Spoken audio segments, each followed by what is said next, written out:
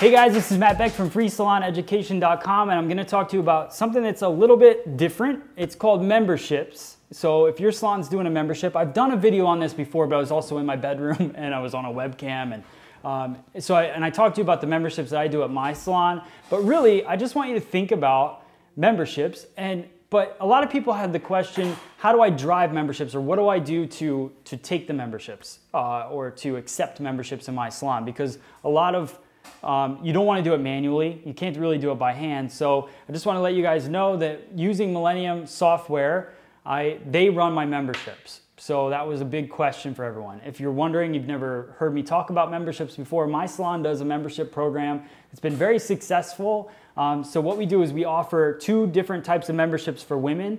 Uh, the first one is $160. Price that based on your area. Don't worry about um, you know whether that price works for you or not. I know people that charge less, people that charge more. But what we do is we include your color, your cut, uh, both once a month, and a blow dry every week.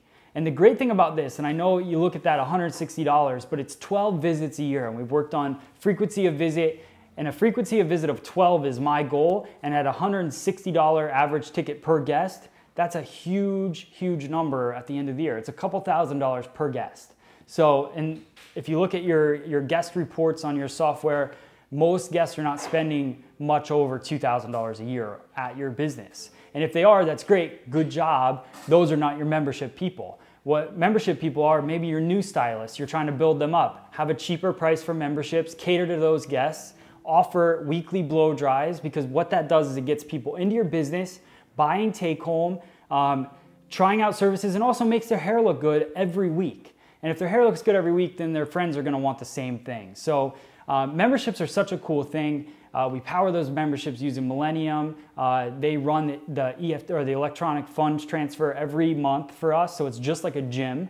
Uh, so our guests sign up, we swipe their card, and then every month that, that comes out. Um, and no matter what, even if the guest doesn't come in, it still comes out. So, but it's not like a gym. Most people come and take advantage of it. But you know, that's it's such a successful thing. I think as a four chair salon, we've done um, probably in the last year and a half over $100,000 in memberships. So it's a successful thing. Run it for your guys. We do uh, $50 a month unlimited haircuts. So the great thing about that is even if a guy comes in every single week, you, you have no work to do. You're just cleaning them up, keeping them the same, and dusting them off. And that's really what it's about is get that frequency of visit number up and you'll have a more successful salon business. So check out memberships, try it out. Do a smaller version if you want to just test it. But hope this tip helped you guys. Make sure you subscribe to us on YouTube, follow us on Hairbrand and Facebook at freesaloneducation.com, and we will see you on the next video. Thanks, guys.